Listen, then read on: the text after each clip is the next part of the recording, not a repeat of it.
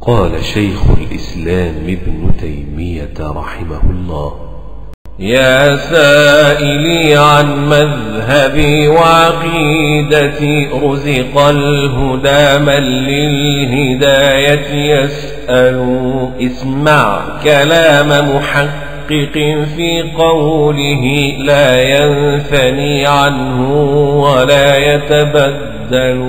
حب الصحابة كلهم لي مذهب ومودة القربى بها أتوسل ولكلهم قدر على وفضائل لكنما الصديق منهم أفضل وأقول في القرآن ما جاءت به آياته فهو الكريم المنزل. وأقول قال الله جل جلاله والمصطفى الهادي ولا أتأول. وجميع آيات الصفات أمروها حقا كما نقل الطراز الأول. وأرد عهدتها إلى نقالها وأصونها عن كل ما يتخيل.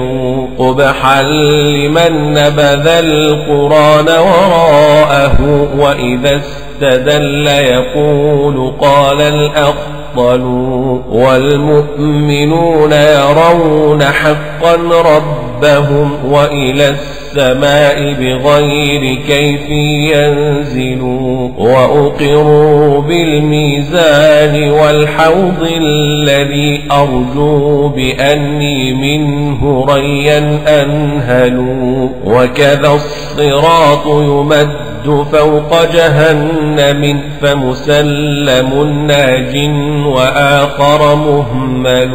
والنار يصلاها الشقي بحكمة وكذا التقي إلى الجنان سيدخل.